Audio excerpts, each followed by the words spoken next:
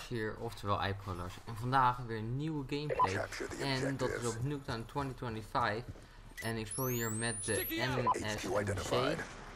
Met uh, Laser Sight en uh, Flashmax geloof ik. En uh, nou, dit, dit, is echt een van mijn favoriete uh, die ik nou meestal gebruik. Het is een, niet een heel sterk af, maar hij heeft weinig recoil en ja, is gewoon echt geweldig. Ik nou, in deze gameplay hou ik het ook. En ik had het jullie beloofd, ik hou volgende weekend hou ik het dus nou, jullie is al op de tweede of derde dag uh, na de release. Dus uh, ik ben hartstikke blij mee. Het is uh, 106 kills geloof ik en 36 deaths. Dus op zich best wel veel, maar het gaat niet. En in als ik, als ik mijn killsticks heb gehad, ga ik echt heel goed dood. Dan is het één kill en weer dood. En, maar ja, uh, op zich een goede gameplay en het is uh, eerste nog dus, dus het een redelijke gameplay. Ik heb heel veel gameplays hiervoor gehad dat ik 92, 93 en hoog in de 80 zit. En ja, ik had dus de hele tijd net niet had ik mijn, mijn 100 plus. Maar nu eindelijk heb ik hem. En ik denk dat tot nu toe is is het het makkelijkste om een 100 plus te halen, denk ik worden. Dat het gewoon uh, 15 minuten lang gameplay is. En dan gewoon ervoor zorgt dat het, uh, dat het potje gewoon uh, niet stopt als je de 250 punten hebt of zo. Dan, ja, dan is het gewoon mogelijk om je 100 plus te halen. En vooral bij een nieuwe kamer zou ik aanraden om niet met de hoogste te spelen. Ik speel hier in dit potje speel met de Hellstorm missile, de uh, Lightning Strike en de Stealth Strike zijn allemaal best wel goede kills die je gewoon kan gebruiken. Veel kills op. Ik hou hier gewoon met Lightning Strike altijd gewoon een double zelf. En uh, ja, de Hellstorm, hier hou ik een uh, mee met de Hellstorm. Dus het zijn gewoon niet hele hoge scores, maar die toch wel heel wat kills opleveren. Dus Um, ik speel op Nuketown niet met de hoogte, niet met de Orbital V-set of de backward zeg maar. En met de attack dogs en zo. Het kan wel, ik heb het ook al gehaald, maar uh, het is gewoon niet handig. Want je moet heel erg gaan voor, de, voor je kills en dat is gewoon niet handig uh, om een 100 plus te halen. Dus uh, ik raad jullie aan om gewoon bij Nuketown 5 gewoon met wat lagere kills of scorestreaks te spelen en dan die gewoon halen en uh, ja, ga, ga gewoon een beetje rushen. En uh, als je dicht bij een club zit, ga dan wat meer campen totdat je echt je, al je streaks hebt en begin dan opnieuw gewoon met rushen. Zo heb ik het gedaan. Ik ken dus ook een beetje van de scorestreaks en daarna ga ik gewoon weer fully rushen. Dus ja, dat is dus over de gameplay. Uh, oh ja, ik speel hier trouwens met de iPod Batman en Motion volgens mij. Maar ja, uh, we gaan even weer wat tips op tips uh, met jullie over hebben. Uh, het eerste waar ik het met jullie over wil hebben is levelen. Als jullie echt snel willen levelen en het hoogste van het hoogste willen zijn, ga dan niet counter spelen of uh, nee, Afrikaanse kampioen protect of spelen. Het is gewoon best wel klein. Ga kill confirm spelen. Je zijn voor een wel 100 score. Uh, voor een uh, kill krijg je al 50 score. Dus ja, um, speel gewoon kill confirm. Hele goede. Hardpoint, als je daar dan gewoon in zit, dan kan je gewoon uh, fucking veel punten krijgen. En nou, Searching is gewoon zo leuk om te spelen, maar volgens mij is het niet heel veel. Uh, dus speel gewoon uh, game, of, uh, game modes die echt gewoon veel op de objectives zijn. Uh, headquarters zou ik niet aanraden, want je doet een hele lange tijd over voordat je de headquarters hebt. En dan krijg je 200 punten of zo en voor de rest krijg je dan geen punten. Dus dat heeft geen zin om dat te gaan spelen. Um, waar ik het verder met jullie over wil hebben is ja, ook nog een stukje over het levelen. Als je gewoon hoog bent, zeg maar, als je level 55 bent en twijfel dan niet om, te, om niet te gaan precies. Ga gewoon precies, want je houdt al je, je challenges en zo en je kan een wapen meenemen of een perk of iets wat je heel graag wil eerder, zeg maar, dan dat je het uh, legaal onlokt, zeg maar.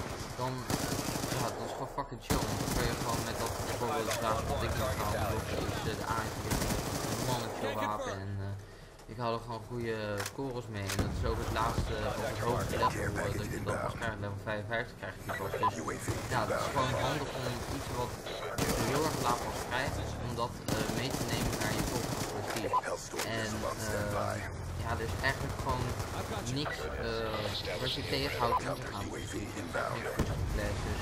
Dus je kan meerdere wapens mee of meerdere dingen meenemen naar je volgende prestige. Dus het is allemaal heel erg gewoon, zorg gewoon dat je gaat prestige, blijf niet eerste of, of, helemaal geen prestige, ga gewoon helemaal door tot het einde en waar ik het verder met jullie over wil hebben is wapenprestige. Je wapen kan je prestige op level 16. Ehm, nou, dan kan je hem dus precies. En wat, wat, wat ermee uh, bedoeld wordt, zeg maar, is dat uh, je challenges blijven. Dus het aantal kills mee en uh, je kennis dat blijft gewoon hoeveel je het nu hebt. Het enige wat erbij verandert is dat uh, je attachment. Nou, uh, dat is ook nog, dan kan je dus voor je attachment krijg je weer extra XP. Dus het is gewoon heel handig om uh, als je een wapenskill gebruikt, dan heb je wel precies niet voor het kan vliegen. Dus precies wapen doen er niet moeilijk over. En uh, die uh, attachments heb ik toch weer zo, uh, zo unlocked. verder, nou, voorstrikt. ik heb nou een paar potjes gespeeld met de K9 unit en de Worm. Wat het nou? nou, geen idee hoe dat ding heet. En Orbital V-Set en Swarm. Het is allemaal heel leuk om dat ze zo fucking goed zijn en zo, maar de kans dat je ze krijgt is zo klein in het spel, zoveel punten en je moet dus echt fucking veel objectives spelen en kans dat je daar dan in gespeeld wordt is echt heel erg groot. Um, ik zou er persoonlijk niet voor gaan en als je er wel voor gaat dan moet je ook echt gewoon gaan campen. Dus uh, dat is ook een beetje wat van haat in het, uh, ik wil niet zeggen dat het slecht spel is, maar heel veel mensen campen spel voor een scorestuk. Dat is allemaal leuk en aardig, maar als je dan hele potje achterin zit en uh, dan maar je scorestuk kan halen dat je maar 30 kills krijgt of zo in totaal. Dat is niet heel erg leuk. Dus uh, speel gewoon met wat lagere uh, scoresticks en al die gewoon. Dan kan je veel meer kills krijgen dan dat je alleen maar voor die hoogte gaat. Als je heel goed bent en je haalt elk potje haal je een, een swarm of geen 9 oké. Okay. Dan, uh, dan moet je gewoon ermee gaan lopen en dan uh, misschien nog 200 halen. Het zou zomaar kunnen. Dus uh, dat is dus over de scoresticks een beetje. en ik ga jullie ook een setup video, een setup, setup video van de beste houden wat ik vind, of die ik het beste vind om mee te spelen en waar je de meeste kills mee kan krijgen. Dat, dat komt deze week ook nog op. Ik zal nu een paar, goede wapens um, vertellen. Nou, in dit spel, in de met de MSMC. Ja, niet zeker. En uh, dan gewoon met Fastman. Altijd met Fastman spelen. Dat is zo handig. Lijkt net alsof je gewoon slide of hand hebt. En uh, ik vind het heel handig om SMG's gewoon lasersite te gebruiken. Omdat je dan gewoon die beetje extra hipfire die je toch gewoon soms heel erg kan helpen om te overleven in ja, uh, je scoresticks te krijgen. Dus gebruik dat ook. En um, wat ik ook nog een heel erg chill wapen vind is de uh, A94. Dat unlock je dan wel als later, maar ik neem hem mee in mijn prestige. En dat stel ik ook zeker aan omdat het gewoon echt een mannensterk wapen is. En niet voor goed wapen is. Um, even kijken, de Scorpion Evo, die unlock je ook bent gelaten. En ding heeft zo'n zieke fire. Het ding is echt een reepmachine, gewoon up close. Je komt En daarvoor ook weer van Fastmax en uh, laser sight. Gewoon, uh, ja, het is een submachine gun, de close quarters. Uh, het is een heel snel schieten, een hele snelle fire rate. Dus wij gaan ze nog gebruiken bij gewoon kleine mappen, dus bijvoorbeeld uh, Newton 2025. En uh, ja jongens, uh, hier een heel goed wapen is, is de uh, Scarha. Het heeft een hele hoge uh, recoil. Ja, het heeft echt een behoorlijk hoge recoil. Dus um, ik zou, uh, als ik dat wapen zou gebruiken, zou ik er sowieso een grip opzetten. En um, burstfire op uh, long range. Dat ding dat, je rechter gaat zo erg omhoog als je daarmee uh, voor automatisch door blijft schieten.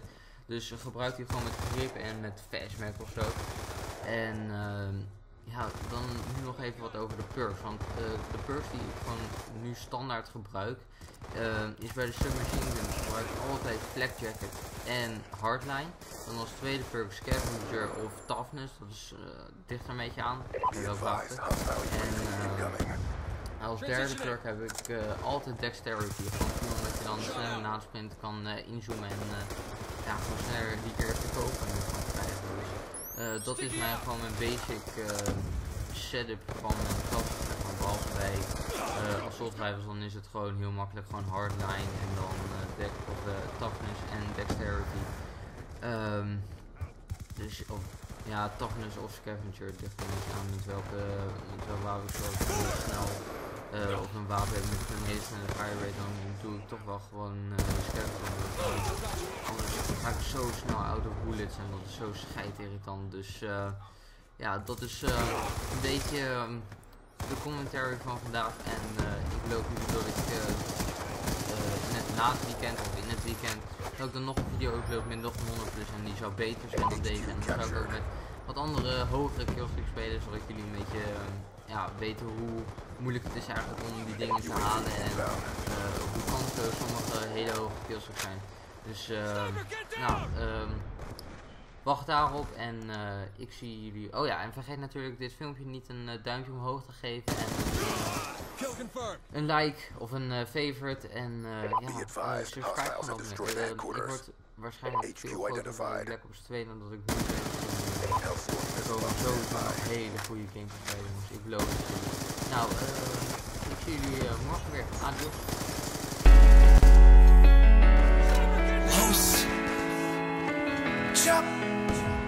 Man, this goes out to anybody who ever lost someone.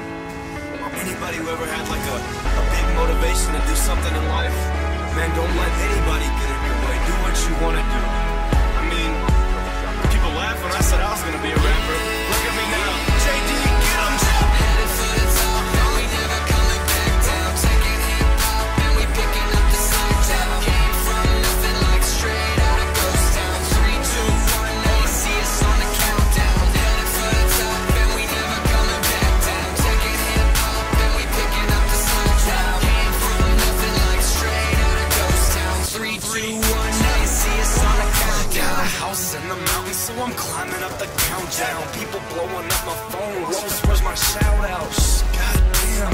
Quiet down, loud mouse. I gotta go buy some shoes that aren't even